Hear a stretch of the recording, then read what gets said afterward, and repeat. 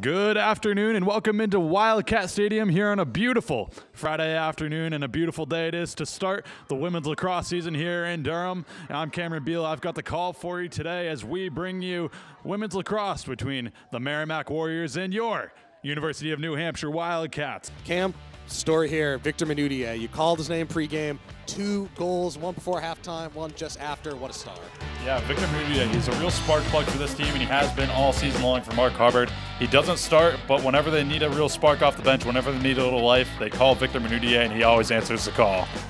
Hi, everybody. Welcome back here to Wildcat Stadium, your 2020 21 spring men's soccer champions, the UNH Wildcats. A 2 0 victory over the Vermont Catamounts. Jeff Poster, Cam Beall. Cam, pretty good game here for UNH. I think that's what we expected. Vermont, this defensive minded team, and it caught up to them. They just could not get past UNH and put something in themselves. Yeah, Vermont, the best defensive team in the conference, but UNH countered with the best offense in the conference, and it showed today with Victor Menudier coming in the second half to give them the two goal lead.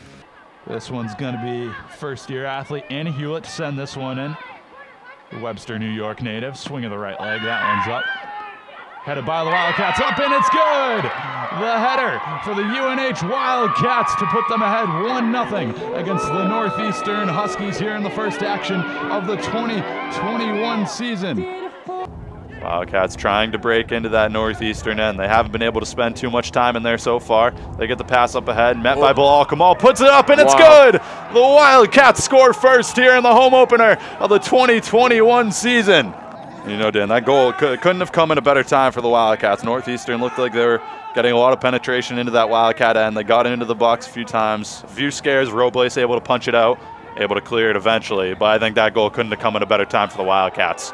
Absolutely, and I think showing me is uh, showing a little bit of why he came to UNH. Bilal Kamal, oh. just what the doctor ordered, Dan. Finds the back of the net to give the Wildcats an early 2-0 lead. Kamal is putting on a clinic right now out here. Yeah, we mentioned we mentioned Rory O'Driscoll at the top of the broadcast, but Bilal Kamal is the guy who's not getting as much attention after the game winner from O'Driscoll. Let's take another look here. Wildcats leading with two shots on goal. The Huskies yet to get one on Robles.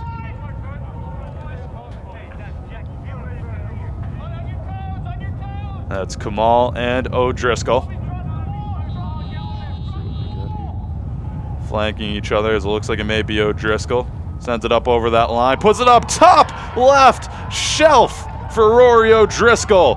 His second goal on the season, and the Wildcats are piling on here early with 24 even to go in the first half. That one's up and it's good. Anna Hewlett ties the game up for the Wildcats here on senior day. The header finds the top left corner. Yannick Bright steals it away, trying to gain the edge. Gets it on that top left shelf. Yannick Bright gets the Wildcats on the board here early at Wildcat Stadium. Sneaks that one around the edge and sneaks it into the top corner. Oh, it's cold, but the sun is shining on the Cats right now. That's a nice early goal there. That's showing me. Has Pinkham out to the left, finds him. Centers it, intercepted by the Riverhawks, scooped up by Kamal. Back to O'Driscoll, finds Fallberg on net, and in bottom left corner. Once again, they just beat Heisel with speed there. Drop down and give me 20, Linus Fallberg. That plays well for the Wildcats as they have Menudier up ahead. And that's Paul Mayer, one man to beat, and it's Heisel, and he's wide right.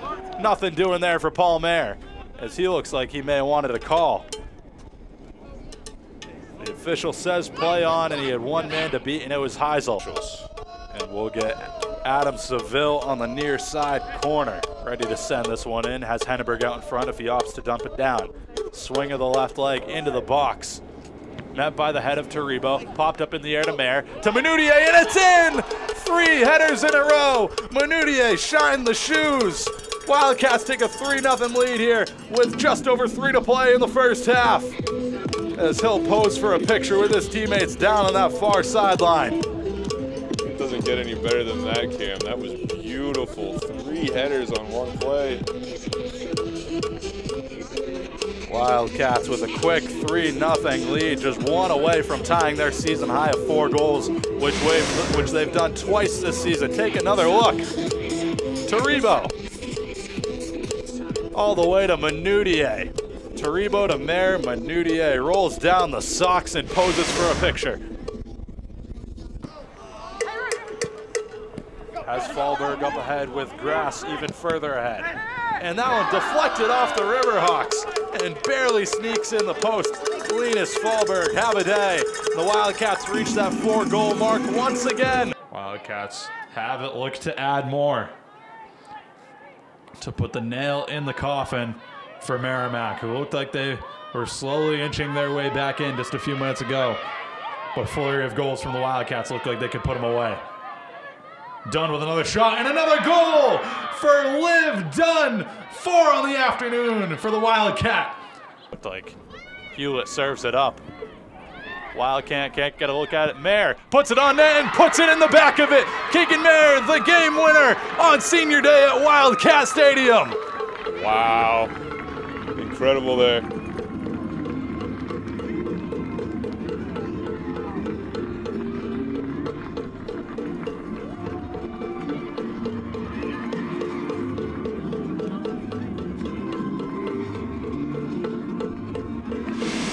Wildcats living for the theatrics here on senior day. Nobody able to get a foot on in the first attempt. Keegan Mayer settles, fires it to the nylon. Wildcat game-winning overtime goal scored by number 15, Keegan Mayer. Well, all I can say about that for the Cat Pack is Time of the goal, More cowbell. 104, More cowbell from the Cat of Pack second captains, and the. Wildcats win this one in double oh overtime by a final of two to one, thanks to Keegan Mayer And and Anna score, Hewitt. Wildcats two and Vermont one. That's going to do it for us today at Senior Day and at Wildcat Stadium. I have been Cam Beall alongside Dan Marshman. Wildcat goal scored by number five, Liv Dunn. Her fifth of the game. And how Free fitting is position that? goal at 21 seconds As of the we- second half. as we That's open up Dunn, her fifth with 21 seconds left. Liv Dunn, the And sophomore out of Newbury, Mass, puts the up a Wildcats 20, five-goal performance for the UNH nine. Wildcats to give her side the edge, 20 to nine here on opening day from Durham, New Hampshire. I have been Cameron Beall, and we'll see you right back here for the next action of UNH women's lacrosse. And that will do it for us today from Wildcat Stadium as they come away with a 4 to 1 victory over the UMass Lowell Riverhawks and with the Vermont Catamount win over the U Albany Great Danes. That means the final game of the regular season next week at Vermont will decide who will host the America East tournament between the 12th ranked Wildcats and the Vermont Catamounts. I'm Cam Beall on the call for you today with Dan Marshman alongside, and this has been UNH Men's Soccer. Thank you for tuning in.